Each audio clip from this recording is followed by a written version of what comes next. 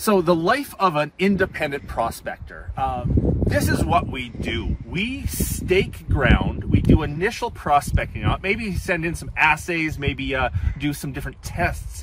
But a prospector is typically someone who is staking ground, proving the deposit, and then hopefully selling it off to a bigger company that will do the actual real exploration and that bigger company, like Grizzly Discoveries, will then hopefully prove the ground to such a big extent that a big major mining company takes it on and mines the site.